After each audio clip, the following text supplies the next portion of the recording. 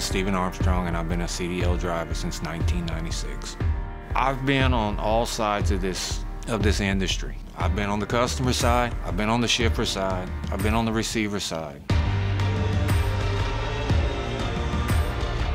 My experience before Variant, it was it was shaky. It was like uh, truck number 1112. That's how you was known. You was never known by your name. It was like a number. When I got offered the opportunity of Variant, I said that that sounds that sounds just right for me. They're looking for drivers that all they want to do is run.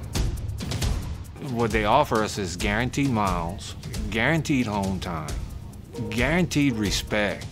All they want to know is when you want to go home and when you're going to be ready to come back on the road. They don't want a driver to sit. It's a waste of our time, it's a waste of truck time, it's a waste of customers' time. I'm not out here to run the minimum. I'm out here to run as much as I could run in a seven day pay period. If I could run it, I'm gonna run it.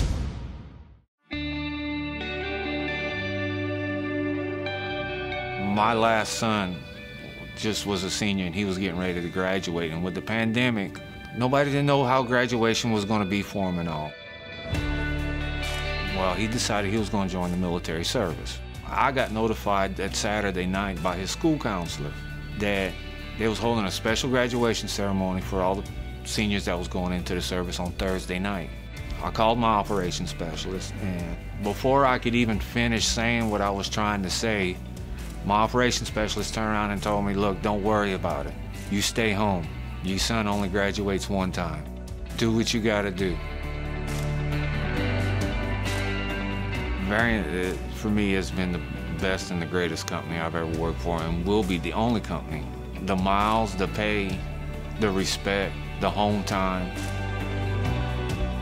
I can't go nowhere else.